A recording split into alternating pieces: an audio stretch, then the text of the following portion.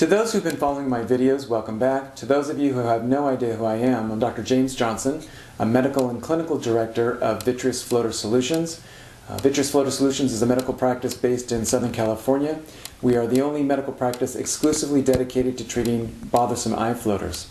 If you have bad floaters, I implore you to visit my website, vitreousfloatersolutions.com. There's a lot of information there for you.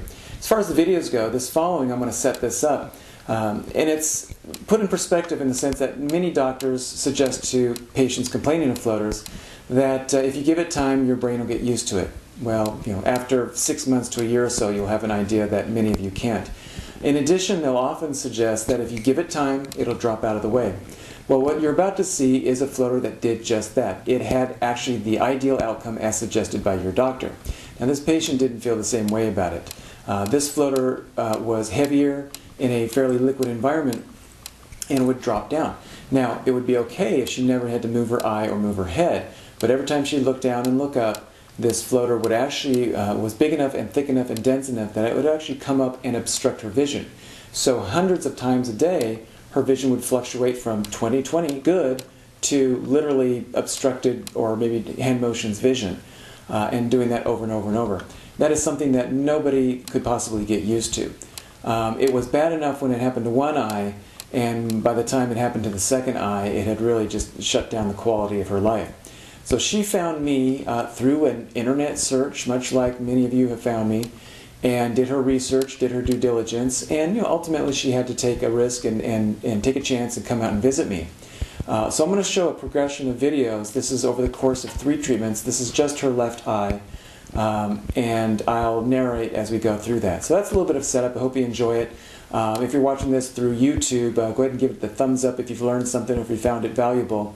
And uh, if you have any questions, you can contact me directly through my website. I try to answer them all personally. It get a little bit, bit behind. It takes me a little while to catch up. So, anyways, enjoy. Alright, so now we're looking at my view through the microscope at the laser, and I'm asking the patient to look down and then uh, look straight ahead again. And as she does so, it flicks the uh, floater up and it drifts right down there. So I've frozen the frame, and this uh, right behind the lens is this large, uh, it appears as a white cloudy mass to us because the light is reflecting off the front surface of it. Uh, the patient sees this uh, large, dense, dark, blurry thing obstructing the vision. Now, the pupil is widely dilated, and shown here in red is the widely dilated pupil. This is probably about 9 millimeters or so, which is very large. And uh, the, the whitish floater here is large, uh, but light could get around it and it would partially obstruct the vision. It would be a real annoyance and a distraction. Now, what I'm going to show you here is the pupil under normal circumstances in normal daylight, bright light outside. And the pupil here is probably about 3 millimeters or so. And uh, you can see that floater would completely obstruct the vision. So this patient is alternating between 20/20 good vision to hand motions vision on a you know, hundreds of times a day, which is totally unacceptable, I think, for anybody. So as we switch back to live action again, you can then uh, have a better appreciation for the dynamics and the movement of this floater. Now I'm used to chasing after moving floaters, but the problem with this one in particular is that uh, it floats very, very close to the lens. And in a moment I'll show you the distance between there, but it creates a problem in that the laser imparts energy on the floater, and we don't want any of that collateral energy to strike the lens, which could potentially cause a cataract. This is a very difficult problem to approach because uh, you know, to leave this would be um, meaning that the patient would have to suffer this thing you know, potentially for the rest of her life unless she could find someone to do a surgical procedure. So here's a trace of the outline of the uh, the floater. This is in cross section. I, I, use a slit beam light. It's a slice of light uh, passing through the lens, and you can see the, the outline of the lens. And uh, the thickness of that is about typically about four millimeters. And just behind that, uh, perhaps a quarter of a millimeter, 0.25 millimeter away from the lens, is the floater. This is the dilemma. So I've created a small graphic to show uh, kind of in cross section where this floater is located and uh, as if you're able to slice the eye in half it would be sitting down uh, sits down low. That's where it wants to disappear to. It'll slide up behind that, that bluish colored lens and drop right down into this recessed area down below. It's an area that you can't hit directly with the laser. It's kind of a hidden hidden spot um, down in the, the cul-de-sac there. So I've got a, uh, a, a unique way of treating this, and I believe this is the first description of this technique. Here are two lenses that I commonly use. The one on the left is a Peyman lens. Uh, it is very small, lightweight, and plastic. Uh, it is a diagnostic and therapeutic le uh, contact lens that is on contact with the eye. On the concave surface there is where I put the goopy gel which couples it to the eye. I can actually let go of it and it'll stay attached to the eye during treatment. To the right is a much larger lens. This is the Goldmann lens. This is the lens that most doctors have available to them. It's a, really a, a, a, standard lens that has been available for some time, uh, mostly used to look at the retina. Uh, I, of course, use it in the vitreous. Now, what's unique about this lens is that there is a central clear zone in the center, but you can also appreciate three uh, other images surrounding it, and these are mirrors.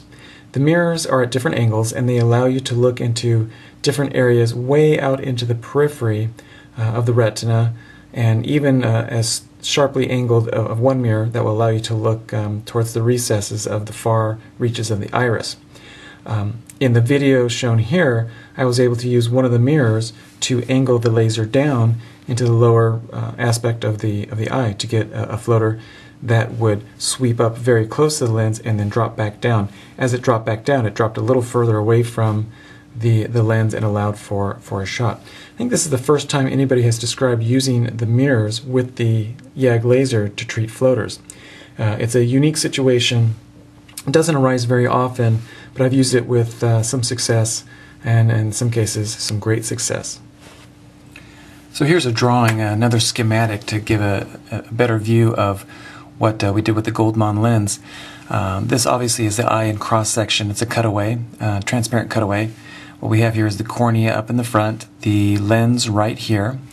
Uh, the Goldmann lens is sitting in, in contact with the eye. What I've tried to draw here is a cone-shaped pattern of energy of the invisible laser. In the upper and lower portions of that cone are my red focusing beams. So as I aim the cone at the mirror, it angles it down into this re recess right here.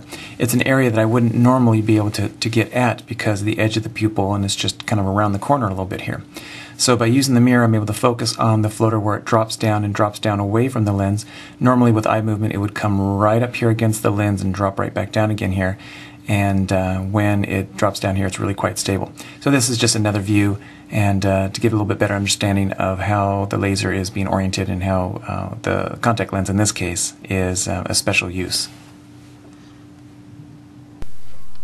Okay, we're back to our original patient again, and uh, it is a little bit on the dark side. I am firing directly through the center portion of the Goldmann lens that I just described, and in a moment we're going to, uh, seeing as there's not much target here, we're going to move upwards and as I move the laser upwards now we're now going to be looking through the upper mirror looking downwards into the bottom part of the eye.